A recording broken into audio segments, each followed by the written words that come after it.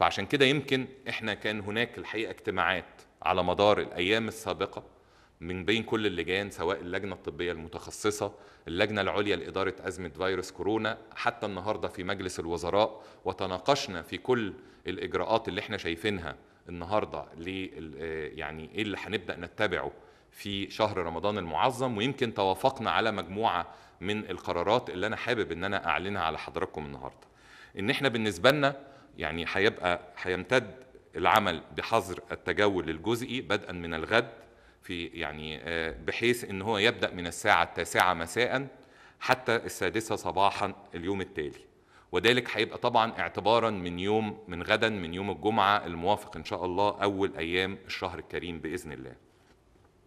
النقطة الثانية ودي اللي أنا زي ما كنت بقول لحضراتكم اللي لاحظناه وعشان نتجنب فكرة التكالب على المحل التجارية والأماكن اللي بتؤدي كافة الخدمات اللي المواطن في شهر رمضان دايما هو كان بيبقى بيروح ليها بصورة أكبر وعشان نفتح المجال لمدة زمنية أكبر وأيام أكبر علشان المواطن يقدر إن هو ياخد منها خدماته تم التوافق إن إحنا هنسمح بفتح المراكز التجارية والمحل التجارية طوال أيام الأسبوع بما فيها يومي الجمعة والسبت حتى الخامسة مساء اليوم. ويعني ده هيبقى اعتبارا أيضا من غد إن شاء الله.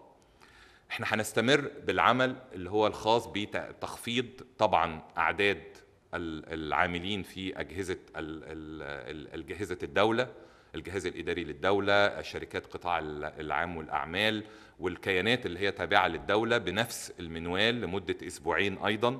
علشان إن إحنا الحقيقة يعني نخفف بصورة كبيرة من الضغط على المرافق والتواجد والتزاحم اللي بيحصل في هذا في هذه الأماكن. أيضا الحقيقة وده يمكن نقطة مهمة يعني وجدناها إن لابد من عودة تقديم بعض الخدمات اللي النهارده المواطن محتاجها بصورة كبيرة جدا ولازم إن إحنا النهارده نعيد الحقيقة يعني فتحها بصورة جزئية وتدريجية عشان المواطن يقدر إن هو يأخذ الخدمات لأن كان هناك خدمات الحقيقة مهمة للمواطن وبحكم إن كان بيحصل عليها تزاحم إحنا يعني وجدنا إن إحنا أغلقناها في فترة السابقة ولكن عايزين نبدأ بصورة هادئة نعيد تدريجيا بعض هذه الخدمات وبالتالي يمكن بالتوافق مع معالي وزير العدل ومعالي وزير الداخلية تم التوافق على عدد من الخدمات اللي هنبدأ يعني تدريجيا اعتبارا من الأسبوع القادم نشغل بعض هذه الخدمات.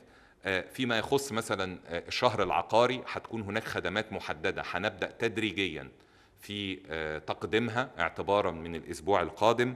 يعني يمكن هنطلعها بالتفصيل في البيان الخاص بالحكومة.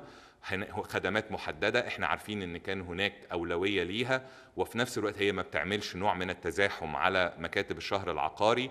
هنبدأ إن إحنا نسمح بيها في خلال بدءا من الأسبوع القادم. أيضا فيما يخص المحاكم تم التوافق على إن يعني نبدأ بالسماح بجلسات الخاصة بإعلام الوراثة. علشان طبعا دي بتخدم يعني فئات محددة للمواطنين اللي يعني بيبقى هناك احتياج شديد لهذه النوعية من الخدمات فدي هنبدأ بيها تدريجيا أيضا ويمكن هنبدأ بعد كده تدريجيا نشوف إيه اللي ممكن الخدمات الأخرى اللي نبدأ يعني نفتحها للمواطنين.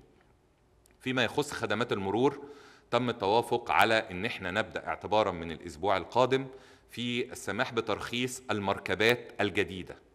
ودي نقطة مهمة عشان تخدم قطاع صناعة السيارات في مصر لأن النهارده كان هناك يعني مشكلة في إن هناك يعني خطوط الإنتاج اللي بتنتج العربات الجديدة وكان المفروض المواطنين اللي كانوا حاجزين هذه السيارات أو المركبات يستلموها لكن بسبب طبعا إن وقفنا هذه الخدمات بقى إن هناك هناك الحقيقة مشكلة كبيرة.